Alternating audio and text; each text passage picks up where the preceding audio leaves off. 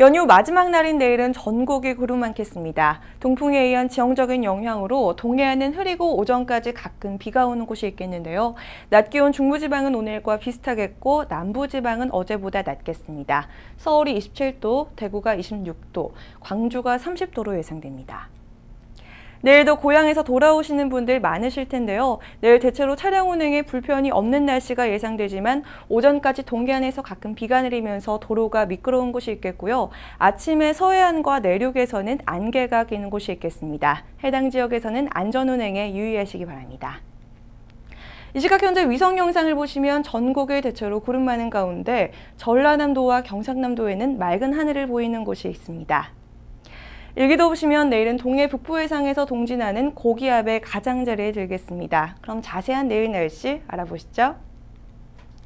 전국에 구름 많겠지만 동해안은 동풍에 의한 지형적인 영향으로 흐리고 오전까지 가끔 비가 오는 곳이 있겠습니다.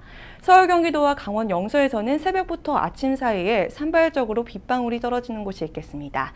아침 기온은 서울이 21도, 강릉이 18도로 예상되고요. 낮 최고 기온은 청주가 28도, 광주가 30도로 예상됩니다. 경남 해안가와 남해상에서는 바람이 강하게 부는 곳이 있겠습니다. 시설물 관리에 유의하시기 바랍니다. 바다의 물결은 동해 남부 먼바다와 남해 동부 먼바다에서는 최고 3m까지 점차 높게 일겠고요.